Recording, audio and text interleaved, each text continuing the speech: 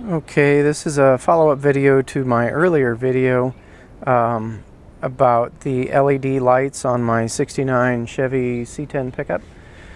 Um, I've rewired the side marker lights so they have the full functions. These particular side marker lights made by United Pacific um, have two have three wires. They so they have basically three settings: off, dim, and bright.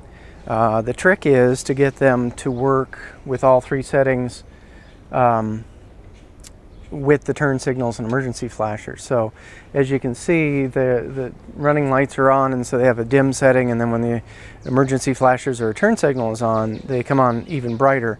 Um, getting the rears wired up was really straightforward. Um, the way Chevy wires the front side marker lights is a little weird. You have to uh, get a little creative in order to uh, find a signal that gives you both the dim and the bright setting. And then of course, if the running lights are off and you have the emergencies on or the turn signals on, you just get the bright flash.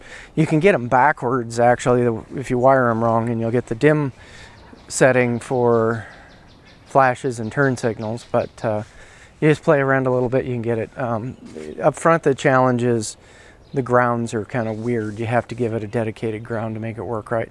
Anyway, if you have any questions on how to do it, let me know and I can uh, help you out. Anyway, hope you enjoyed the video. Thanks a lot.